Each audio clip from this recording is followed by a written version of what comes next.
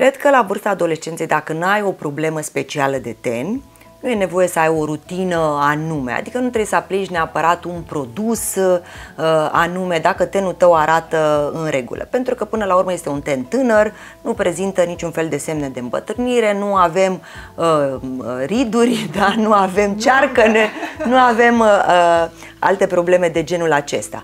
Însă, din păcate, la această vârstă, acnea este o problemă foarte frecventă, afectând 80% din adolescenți și acnea este legată de excesul de sebum care apare la vârsta adolescenței și atunci majoritatea adolescenților au un ten mai gras cu por mai dilatați. Dacă mai au și leziuni de acne, sigur că trebuie să urmeze o rutină de îngrijire, pentru că altfel lucrurile se pot înrăutăți și pot să ajungă în situația în care să rămână cu semne da? sau cu cicatrici care pot să fie definitive sau nu chiar definitive, dar oricum sunt mai greu de îndepărtat sau de tratat. Și atunci un prim pas, să spunem, în rutina de îngrijire uh, a unui ten de adolescent, care este un ten gras în general, este curățarea tenului, care trebuie făcută cu produse special destinate acestui tip de ten.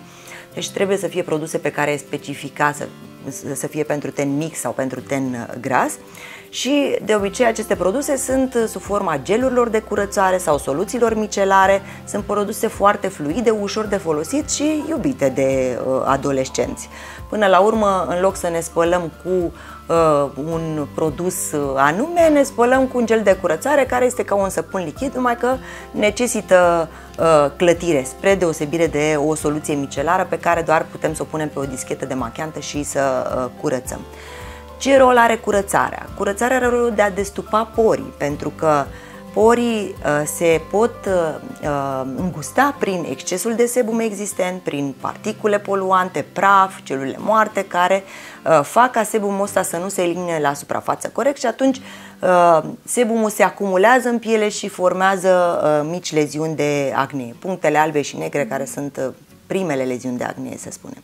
Și atunci, efectuarea curățării de două ori pe zi, mai ales dacă e o problemă a tenului, atât dimineața cât și seara, ne scutește de apariția acestor leziuni de acne.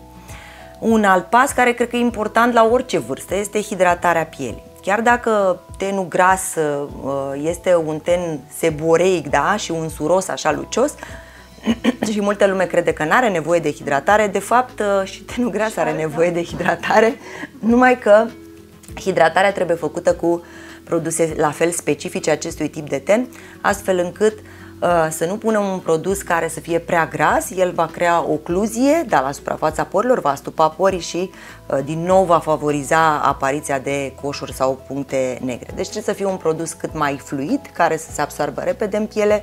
Sunt produse care pot să și hidrateze, dar și uh, să matifieze, să îndepărteze ușor aspectul alucios dacă este o problemă deranjantă pentru uh, adolescent.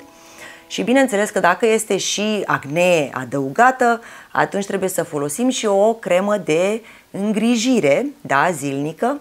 De obicei aceste creme sunt uh, din game dermatocosmetice, deci le vom găsi în farmacii și au la bază ingrediente precum alfa și beta-hidroxiacizi.